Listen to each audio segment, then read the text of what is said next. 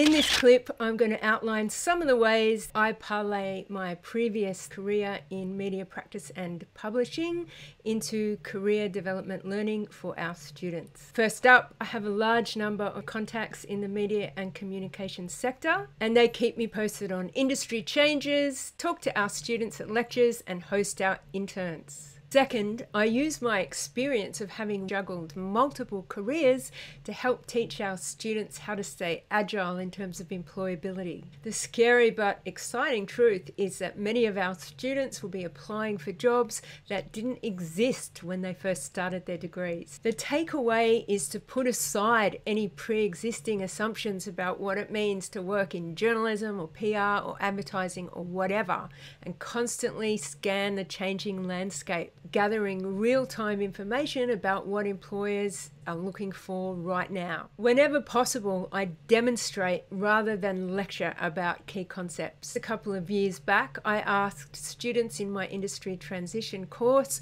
which celebrity would top their wish list as a special guest judge for our annual pitching competition. They nominated Osher, host of Channel 10's The Bachelor, on account of his mental health advocacy work. Together, we crafted a carefully worded pitch to Osher's agent, which successfully secured his involvement.